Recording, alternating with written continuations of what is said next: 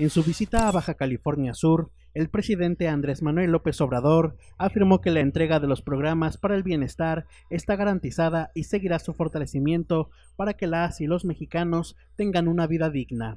Tenemos que ir mejorando estos programas y consolidarlos. Lo que se busca es lograr el ideal de establecer en México un verdadero estado de bienestar, darle seguridad al mexicano desde que nace hasta que muere, que no padezca, que no sufra, expresó. El mandatario recordó que las pensiones para adultos mayores, niñas y niños con discapacidad, así como las becas, son derechos constitucionales que se deben otorgar independientemente de quien dirija el gobierno. Por primera vez en la historia, al elevarse estos derechos a rango constitucional, se estableció también en un transitorio de la Constitución que no van a faltar los recursos, el presupuesto, para garantizar estos derechos. Además, nunca deben ser disminuidos, año con año tienen que incrementarse, explicó informó que año con año incrementará el presupuesto de las pensiones que benefician a más de 10 millones de adultos mayores en el país hasta alcanzar una inversión cercana a los 400 mil millones de pesos en 2024. Asimismo, instruyó a los titulares de la Escuela es Nuestra, Becas para el Bienestar Benito Juárez y Jóvenes Construyendo el Futuro, reforzar la entrega de apoyos directos que aseguran a las y los jóvenes mexicanos el derecho a la educación y al trabajo. Durante la evaluación de apoyos a la población de Baja California Sur, el presidente anunció que el gobierno federal establecerá un convenio con centros de rehabilitación para atender de manera integral a niñas y niños con discapacidad. La semana próxima vamos a dar a conocer un programa especial para niñas y niños con discapacidad.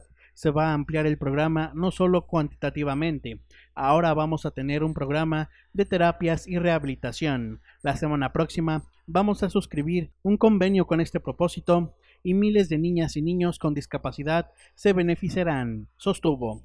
Inversión federal continuará en Baja California Sur, afirma el presidente López Obrador. Seguirán llegando inversiones del gobierno federal a Baja California Sur para continuar las acciones en materia de seguridad y apoyo social a sus habitantes, afirmó el jefe del Ejecutivo.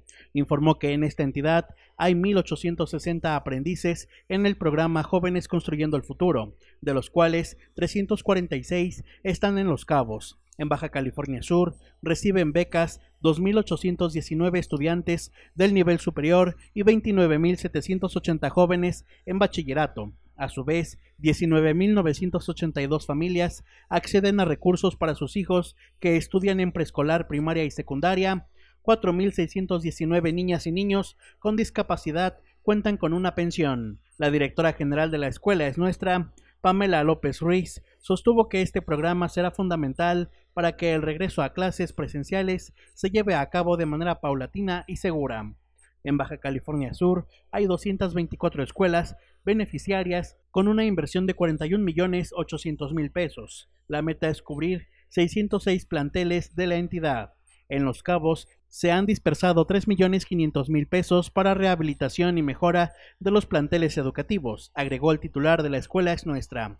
El coordinador nacional del programa de becas para el bienestar, Benito Juárez, Abraham Vázquez Picano, detalló que en el país la iniciativa beneficia a 3.7 millones de familias con una inversión de 30 mil millones de pesos anuales. En la entidad son atendidas 25 mil niñas y niños. El subsecretario de Empleo y Productividad Laboral, Marat Bolaños López, dio a conocer que el programa Jóvenes Construyendo el Futuro apoya la reactivación turística y suma 1.782.810 aprendices en el país. Acompañaron al presidente, el gobernador del estado, Carlos Mendoza Davis, y la subsecretaria de Bienestar, Ariadna Montiel Reyes. Oscar Recendis, para Mezquital al Día.